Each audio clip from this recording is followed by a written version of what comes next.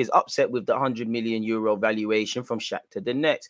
Arsenal transfer target Mykhaylo Mudryk admits he was shocked and upset by Shakhtar Donetsk valuing him at 100 million in brackets 87.5. So maybe they're doing that so they can get the 50.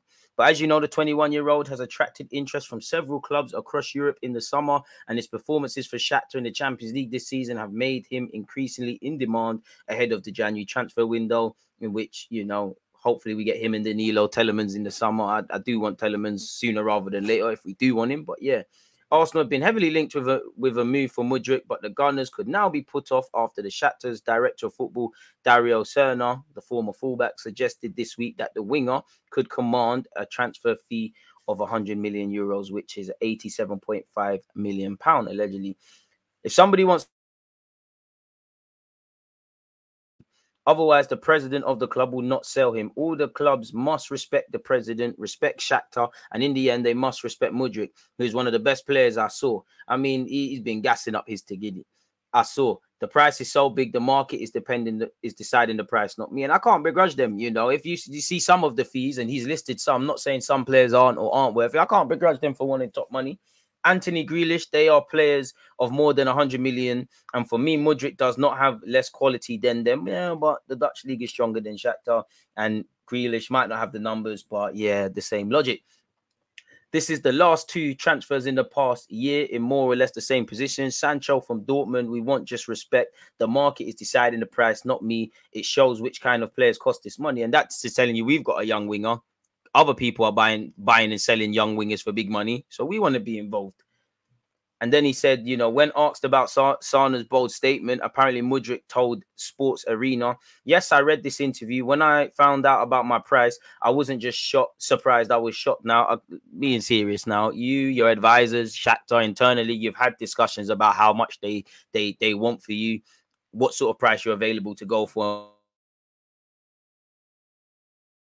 Proof here, but he, let, us just humor it and take it at face value potentially. And again, you got to remember, people, this is all mind games. You know, as we gear up to January, just like with the Ronaldo interview, it's all mind games. As I said, Mudryk is speaking with Zinchenko's wife. Obviously, he's probably speaking indirectly with Zinchenko. You know, they're doing what they can for Arsenal. You know, he's been speaking to Ben Jacobs a few months ago. You know, every week there's a new interview, whether it's his agent, Shakhtar, or whatever. So they're doing what they need to. He said, I have a long term contract with Shakhtar. I give all my strength and the energy so that Shakhtar achieves maximum results. I really hope that my game would bring great benefit to Shakhtar and that clubs from top European championships would be interested in me.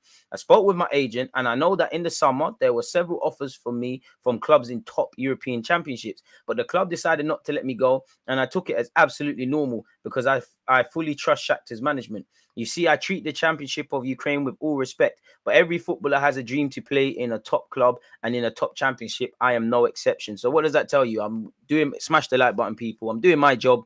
I'm acting with integrity, but I want to elevate. Like in life, you can't begrudge people for wanting to elevate.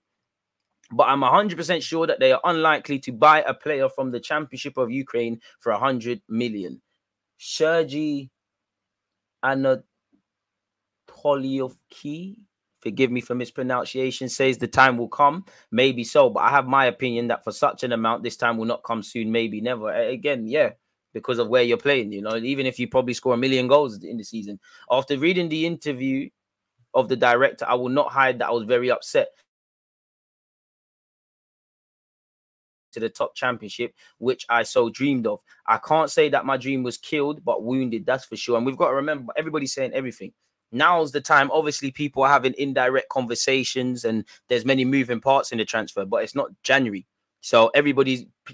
It's, it's probably half truths from everyone, from him, from his agent, from Shakhtar, from clubs interested. There's a lot of mind games and and all these things being played. But I'm a professional. I'm a Shakhtar player.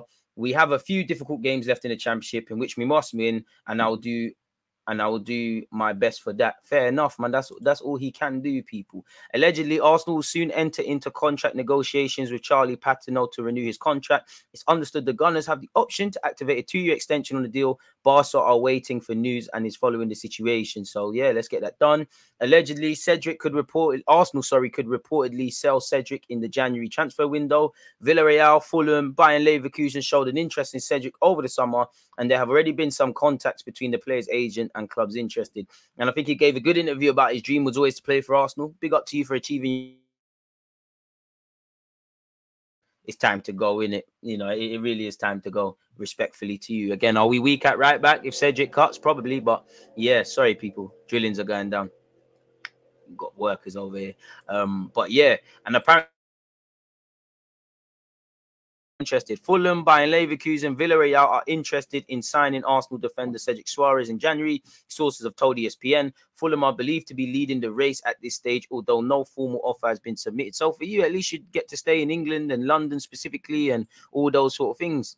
Really, you can leave with your head held high, Cedric. But for me, you do need to leave. I understand if Arteta wants to keep you as a body, but I don't respectfully, I don't really have much faith in you. Sources said Cedric is focused on re-establishing himself with Arsenal, lull, but would listen to offers if Mikel Arteta indicated he was no longer part of his plans. Any potential move would likely be along with an option or obligation to sign him permanently. I mean, with him being contracted until 2024, is probably can we move him permanently? Because you know, big up Elneny. I mean, not Elneny, uh, Pablo Mari on his recovery, but we're all hoping that Monza stay up purely because it becomes an obligation to buy him. People, bloody hell.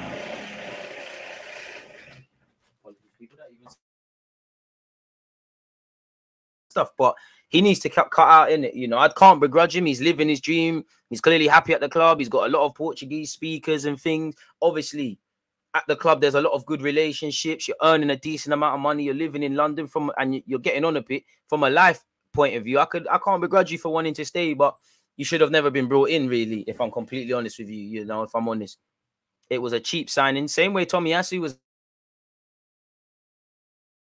me with Cedric, when you cut corners, you're not going to get players that are really good. And with him, with Mari, with a couple of them, it takes a lot of effort to move them on. Saka um, has obviously been doing some charity work and has funded 120 life-changing surgeries for children in in Kano, Nigeria. The operations took place in mid-October and were a success. So thankfully, thank God that the operations were a success. Hopefully, these kids can, you know, have no barriers to, you know, becoming the best human. Well, I say humans, Bukayo Saka, man. You know, you don't have to do charity work, but it is nice to see. And obviously, he might play for England, but last time I checked, the name Bukayo and Saka, you know, weren't exactly English names. So he's not forgotten where he's came from and he's giving back. And you don't know what one of these kids go on and do. They might do something greater than football. Or, or something out there. You never know, really. And it's nice to see that it's been a success, really. So yeah, big up Saka for that, man. That's some real guy stuff. Allegedly, you know, we haven't been linked with the Corinthians defender Robert Renan for a hot minute, but we have again. Renan has been attracting interest from several clubs, including Arsenal, per the Express, but there haven't been there hasn't been an official proposal for him. Only inquiries, which are expected at this time of year. So I wouldn't expect anything anytime soon. In his case, what's this? Matt Smith ah, eyes one more go at Arsenal. It's over, bro. How much time been on the bench and not played? Big up you. I listen. I hope you did, but it's you. Come on now, you 22 or so. You need to go, man. You've been on a couple of decent loan spells as well. need to grow up a bit. I know you've been at Arsenal from like eight, nine years of age. You're technically in the first team. It can be hard. You know, you're probably earning a decent wage a week, but it's now time to grow up and play real world football. Really, it won't quite be Arsenal, but yeah. Matt Smith says he wants to give it one more go at Arsenal after a string of loan moves. Look at the centre mids we want to bring in. Look at those that are ahead of you. Look, you're not in. You're not in you're not in the shouts. It's just not going to happen, lad. But again, I don't work for Arsenal. What can I tell you? There's a difference between being patient and being on nonsense. But he said being patient and needing to wait for your opportunity can be frustrating for any player. And I mean, Mikel Arteta probably, you know, your agent, your parents, you, you know, you're just a body. You didn't even come to get on against Brentford. Young 15-year-old Ethan did. You didn't. When have you played? You've you've been like the Hale End boys last season, where they were just on the bench and not playing. You need to progress. I but I want as many Hale End boys to come through as possible. So I hope to God I'm wrong. You get an opportunity, but I'm I don't think Arteta does the lying thing like that beyond the necessaries managers do. I think he's told you specifically you're not playing ahead of Elneny. Chenko, Smith Rowe, uh, probably missing out one. They could all play eights ahead of you, and that Fabio Vieira off the bench with Xhaka plays ahead of you. Xhaka and Partey ahead of you. We want a couple of midfielders. You know, Charlie Patino probably ahead of you. You you are good enough to play senior professional football. It's not gonna, you know, you might have to wash your own kit, and it's not gonna quite be the nicest seas of Arsenal. But I don't. I think you're at this point you're frustrating yourself needing to wait for an opportunity. And again, I can't begrudge you for wanting to play and learn from Mikel Arteta for what it's worth, you know, but and needing to wait for opportunity can be frustrating for any player. But the key is how you react to having to be patient. Amen. And that's massive for the boss with the values that he has. You have to find a way to make that frustration a good thing and use it in training to show that you really want it. Sulking and keeping your head down is not going to benefit you in any way. Fact. Every day is an opportunity to press and show the boss that you're ready. So every single time I go with the first team, that's what I try to do. I enjoyed all three of my loans and obviously gained a lot of experience and developed as a player massively from then. But when it came to making a decision on where to play my football this season, I knew I wanted to give it one more go at Arsenal. Okay, so we're approaching January. You know, December's around the corner. How much time you played in the first team? How much time you been on bench? Anything can happen you know and eddie show eddie completely different but eddie's shown why patience is is is is vital but sometimes you need to be open to other things so yeah give it one more go my guy I think sometimes it can be forgotten that the reason players go out on loan is to develop as a person, as a player, and ultimately come back with a view to make it in the first team. That's what was the ambition for me. I feel like I've done my time out on loan. I could have gone out again, but something about that didn't feel right. So I didn't think it would do me any harm to give it a go and stay here until January at least. So, boy, January at least, keep it. You got to keep moving, my guy. I'm not trying to be harsh, but it's a myth. Bellerin has been voted boss Shock, horror there, but big up to him. Endrick's father has denied plans, denied reports of plans to visit Real Madrid. There's no travel scheduled. Arsenal were linked with him a few weeks ago. You know, Chelsea look like anyone in England, they're going to buy him. PSG are onto him, and all these sick Brazilians, they all end up in Spain at Real Madrid. So I don't imagine he'll be any different. But I don't think Arsenal have 50, 60 million to spend on a young 16, 17 year old who can't play here until he's 18 and park that off without addressing more immediate areas. So never give up. We got Brazilians and that, you know, hopefully Gab Jesus can do something and Martinelli can chat to him and all these things. But myth, uh, absolute, absolute myth. 100% Arsenal player says he's no longer injured and is ready to play. Apparently, you know, I think I read this earlier and he was speaking about how he was almost on the verge of tears and listening to his said 100%, no limitations, smashing balls again. Why? All good. Okay, fair enough. But there was a there's a there's a there's an article where he speaks about is this it? Yeah. Oh my gosh. So what we can do if we're gonna read that, sorry folks, we need to switch over to Safari because I'm obviously subscribe to Safari, um, to, to uh, the Athletic on Safari, and then we go over there. I also think Arsenal's completely off topic, but I think Arsenal, a couple of Arsenal games have been rescheduled as well, people. Um, just because I've got it up here. Where is it? Where is it? Where is it? Where is it? I think the Spurs, Spurs and United games have been rescheduled for television people in January. But I just want to see specifically what this guy said. It's what this is it. It's one of the hardest things I've ever done. I was actually like on the border of tears. I know that sounds a bit soft, but I've never had to do that before. I've never had to really listen to my body and feel like maybe it wasn't the right move to push through something because I've pushed through many injuries in my career, many little niggles, and that might have held someone else out. That's never been my MO. So to go against everything that was ingrained in me and look out for myself was challenging, and that can be hard in professional sports and in life. And what he's the same age as me, 27. Like we're at that weird age now where obviously I think I'm Superman, in it. Like I think I'm Superman. I don't get injured. I don't get ill. I don't have to do this. I don't have to do that. And I, as as a non-footballer, it's a humbling experience. Like actually, like when I was a little kid, I only had proper injuries like swollen ankle, slightly fractured ankle, proper things like that. Now we play Sunday league. I wake up the next day, everything's hurting. You know, just just the thought of it, you could probably see me grabbing my hamstrings. My word. So yeah, it makes sense, and it's a humbling experience. And honestly, how you look after yourself defines longevity of life, let alone a footballer. You know, Ronaldo the best example of that. I know that my opportunities are few and far between on the pitch. Damn damn. Also, the way that the game was building up against PSV away, it was a game that I felt like I could have gotten out there and done very well. It was a game that would have played to my to some of my strengths, shot stopping, defensive actions. I knew that was an opportunity for me to show myself, and that was part of the reason it was hard. It was so hard for me to go out there and say that I couldn't go. Fair enough, man. Big him up, and I think former American goalie, has been saying he hasn't improved since he signed for Arsenal and he's you know he should look to leave and things. And you might be right, you might be wrong, but what I would say is Matt Turner's not an idiot. You know you've got Ramsdale who we just spent 30 million on. You could say current, even though he's not in the squad. In Leno, bro, you're not playing ahead of him. Like it's reality of the situation. So big up yourself. Um, this was from yesterday, but yeah, apparently Zinchenko as well as Xhaka and four or five other players had a stomach bug in the Wolves game, which makes that even more impressive. Bench Arsenal man pushes for January exit as agent contacts Premier League European suitors. So I think this is just centered around um Cedric a bit more. Cut, bro. 31 goal play, but at 31, I can't begrudge you if you want to get your loyalty bonus, get your weekly wages at Arsenal. You're happy in London, it's your dream. Portuguese speakers. Mikel Arteta likes you. It's a nice working environment. I can't begrudge you if you want to do that, but for Arsenal, me cut out, man. Like just cut out and bring her right back. You can do this. You got Tomiyasu, you got Ben White out there. Maybe bring in one natural out and out right back again. Um, if I'm completely honest with you. Um, where is the article on my man in Rodrigo Becao or whatever his name is? That's what we need to be looking at. Shout out to you lot.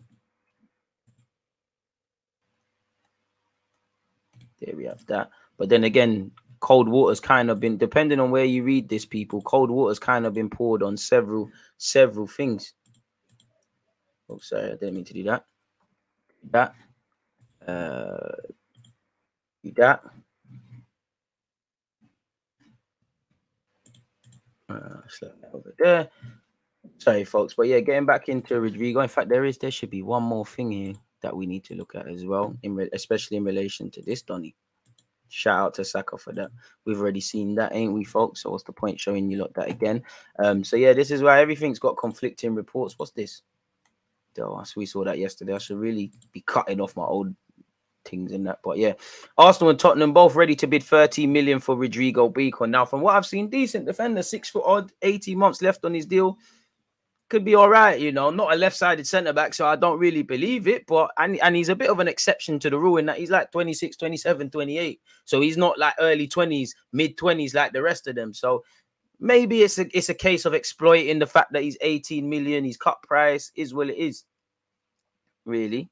You know, how long have we been following him for? How long has he been at Udinese? But didn't Pablo Mari spend time out there? If the loan manager was out was was watching Pablo Mari, maybe he said, "Oh, you know what? I was doing a loan report for Pablo Mari, like you asked me, Gaffer Mikel, and I saw this defender. He's all right. You should have a look at him. I'll put some clips together for you." Then maybe Mikel looked at these clips and said, "You know what? The clips are good. Let's. I want you to go watch him." Apparently, he has 18 months left on his contract on New Year's Day. Maybe that's where the Arsenal and Spurs rumors are coming from. Maybe Arsenal or Spurs and or Spurs want him legitimately. You know, he joined Udinese in 2019. He's played over 110 um, uh, games in all comps. Um, apparently, the report claims the 26 year old, whose current contract expires in 2024, is yet to reach an agreement with Udinese to put on an extension. Maybe there's that. That's where the Arsenal and Spurs and anyone else links. He apparently has been offered a new deal with an improvement in salary, but Becao apparently wants wages on par with the two clubs, two with the club's two biggest stars, Pereyra and Deulofeu. So that's where you're coming from. And at 26 years of age, if he moves to Arsenal, Spurs, or anyone, he would get better wages than maybe seeking over there. Talks between the players' reps and Udinese have stopped as a result. Next round of discussions has been pushed at least until the start of the next year, which is around the corner. That has opened the door for interested parties to make a move, and reports claim that uh, Premier League trio Everton, Arsenal, and Spurs, along with AC Milan, are all interested. It has been further claimed that the three English clubs are willing to table a bid in the region of 13 million to sign him in January. So, what happened to the uh, Ndicka rumors? I don't know, man. If we've done our scouting, then fair play. But then again, it, as I said, it depends where you read because Romano has said it's a myth. You know, Everton are currently not in talks to sign him. Uh, Arsenal and Spurs have been linked, but it appears that interest from the Toffees have died down. Apparently Romano said Everton were interested in signing, obviously, my man during the summer, but have since called their interest. There are no talks ongoing between Udinese and any other club. So that tells you everything. Despite what you might be reading elsewhere, there are currently no talks between Arsenal and Spurs and Udinese for Rodrigo Rodrigo Becao. What I can tell you is that he was an option for Everton last summer, but he's gone crazy. So that could be probably put to bed quickly. So that's two defender. But we've been linked with centre halves. That might show you he's still committed to signing the centre half. I mean, I know we didn't get Lisandro Martinez and he doing he can, but when you looked at the time on Transfermarkt, the bulk of his games were as a centre half. He played 12 times at the time in the summer for playing left back. Now Arteta can rework and make man play there, but him being left sided and playing the bulk of his games at centre half, you know, when we must have been scouting him, he's probably playing centre half for Ajax at the time. So we probably do want a centre back if we could be real specific, a left sided. But if a top quality right sided becomes available, it is well, it is. Sorry, there's building work going on. Apparently, Fabrizio Romano has provided an update, people, on the recent speculation between Arsenal and Mudryk. Mudryk would love to go to the Premier League, but his club won't be letting him go for the cheap. He would love to go to the Premier League. That is not a secret. He would love to go. He was dreaming of Premier League football when Everton offered in August. Bournemouth have been interested as well as Brentford. Arsenal have been interested. In August, they wanted him. They had no they had negotiations, but no official bid in August because Shakhtar wanted more than 50, 45 million or 50 million. Now it is way more than this. I understand it is more than 60 to 65 million for Mudryk to move in Jan. My sources at Shakhtar Donetsk tell me there is no bid on the table. They say that we know about the interest. We know they are keen on. Arsenal now, the player would be opening open to move in January because he wants a new experience in a new club. And then, you know, again, I'm tired of seeing these reports, people. But when we did look at things, you know, apparently he said, I think every guy dreams. This was this has to be Ben Jacobs' comments. Yes, I think every guy dreams about playing in the Premier League. Arsenal's a very good team, very good coach. I like the way they play yes, from my side, I can't say no, but a transfer is not only my decision. And yesterday we saw, we, we, you know, yesterday the day before the interview with Zinchenko's wife, the sound bites where he said he'd pick us over Real Madrid, kind of alluded to he's more likely to play here and that he kind of wants to move in January. It is what it is. He's got eight goals and eight assists from 16 outings, people. Good for 21 year old. He scored three goals and got two assists in the Champions League. And yeah, this was his comments from early. He said, from a purely hypothetical perspective, if there was an option of being a bench player for Real Madrid or a starter for Arsenal, I'd probably choose Arsenal. And again, he told the journalist who is married to Zinchenko, who they're all from the same country. Zinchenko plays for Arsenal. Couldn't be more coincidental, you know. Like obviously, I am not privy to Ukrainian media. Clearly, Miss Zinchenko is a big dog in this thing, does the interviews but it can't just be only her. You know, it's there's probably other article, other other journalists he could have spoken to. Why would you pick her? Maybe it's because she's great at her job, which probably is it. But is it because of who she's married to? Not the fact that she's married to Zinchenko, but he plays for Arsenal. You're linked with Arsenal. I'm not too sure. So yeah, he said I check them. I, I check on them on my score, and I know I can check on them when they're playing. I also watch them too. They are a very dynamic side in general, not just in controlling possession, but also scoring goals. I mean, he can say all of this till he's blue in the face, in it. We don't put the bid down. We don't dot I's and cross T's. You don't play for Arsenal, in it. Um, this has to be the same thing, really. Shakhtar are not selling Mudryk for 40 million euros in brackets 34.8 or 45 million, 39 million. They want around 60 to 65, which is about 52 to 56, not less than that. It's not going to be easy, but Arsenal are still interested. They have contacts with his agent, so it could be an interesting opportunity for them. So, what does that tell us, people?